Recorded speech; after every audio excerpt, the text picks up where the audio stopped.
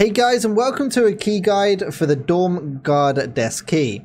This key currently spawns in jackets and in the pockets and bags and scavs, as well as on customs. Don't forget to like the video if you find this guide useful. So for this key you do need to be on customs and head up to the dorms area. What you're going to need to do is enter two story dorms, the one with two floors, not three floors. Head in and turn left and head all the way up the corridor just before you get to the calf area right here you got this door just here and there's a dead scav right here and the key can spawn in the dev scav's hand right here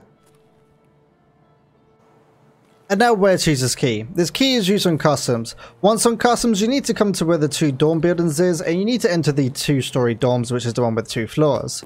Going through the main entrance, directly on your right is the room that you need to enter, which is like a little reception area. And inside here, you do have a weapon rack just over here, as well as a weapons case and uh, two ammo boxes.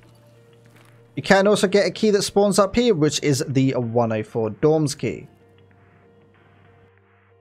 This key is currently going for around about the 8 to 9k mark. Personally, I wouldn't actually pay anything more than 20k for this key due to only getting a weapons rack, a weapon box and two ammo boxes. Of course, you can get the 104 key, which you can sell for a little bit of cash, but I personally wouldn't actually recommend buying this key. Hopefully you guys found this guide useful. If you did, don't forget to leave a like and subscribe. I do stream over on twitch.tv slash piranha underscore seven days a week starting at 8am GMT. Don't forget to check down in the link in the description for our spreadsheet. It does have all of the tasks, guides, keys, extracts, everything down there that can definitely help you, especially at this stage of the wipe. Guys, have a great day and I'll see you in the next video.